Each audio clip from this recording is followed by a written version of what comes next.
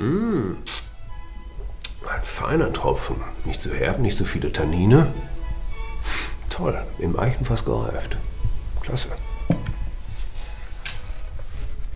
Ach, Gester, sag du doch auch mal was. Ja, lecker.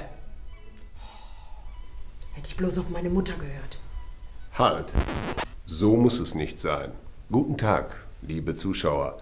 Mein Name ist Professor Asbest und ich bin vom Institut Fribenius für angewandten Smalltalk.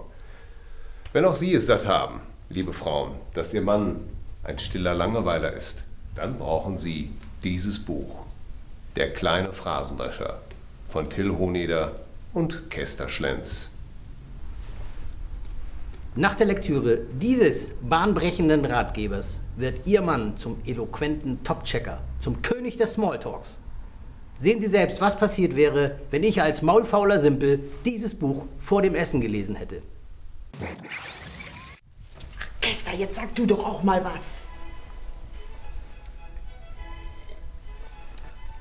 Dieser Tropfen ist mir zu unentschlossen. Keine Reintönigkeit. Und im Abgang ist dieser etwas flache Fusel doch eher enttäuschend. Schlechte Hanglage und eine Terz zu viel Schwefel. Sie sehen, liebe Zuschauer, was die Lektüre des kleinen Phrasendreschers aus müden Männern macht. Wirken auch Sie witzig wie John Cleese, smart wie James Bond und intellektuell wie Albert Einstein. Das Schweigen der Männer war gestern. Heute sülzt der Mann von Welt.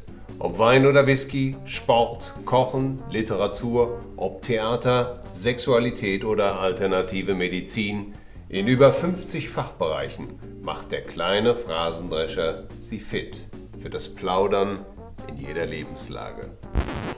Zu jedem Thema gibt es intellektuelle Phrasen, wie zum Beispiel, es gibt keine gesunden Menschen, sondern nur solche, die noch nicht oft genug untersucht wurden.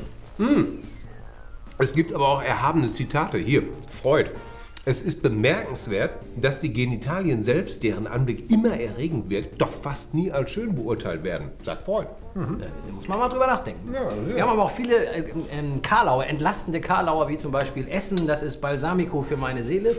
Oder die Sixtinische Kapelle, immer noch eine tolle Band. Wir warnen aber auch vor Missverständnissen. Quantenmechanik, keine Fußpflege. Das ist eine physikalische Theorie. Ja, ist gut. Ja, ja, ja. Und manchmal kann man auch ähm, lernen, wie man aus Situationen herausfraselt. Wenn es zum Beispiel um Kino geht, dann kann man sagen, ich war bei den Filmfestspielen in Cannes, kann aber auch Nizza gewesen sein.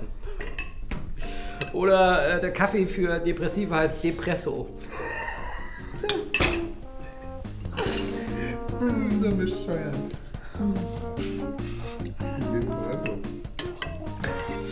Boah, Kester, jetzt nach dem Dreh kann ich dir ja sagen, der Wein, der korkt, das ist eine miese Plörre, wirklich. Das geht gar nicht. Till, der kann nicht korken. Dieser Wein hat einen Schraubverschluss. Ja, dann schraubt er eben.